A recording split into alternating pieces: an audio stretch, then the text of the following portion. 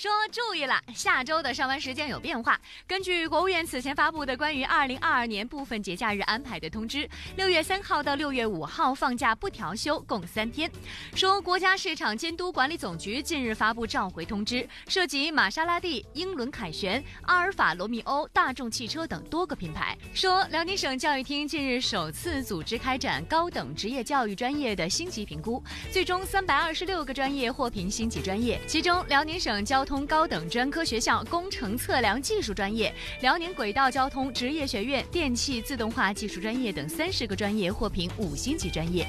说尼日利亚南部河流州二十八号发生了踩踏事故，造成数十人死亡。当地警方称，当天一家教堂在一个体育场组织慈善捐赠活动，吸引大量民众涌入，导致了踩踏事故。有现场目击者在事后回忆称，现场十分惨烈，令人痛苦，人们争相涌入，不停地推搡，最终导致了踩踏事故。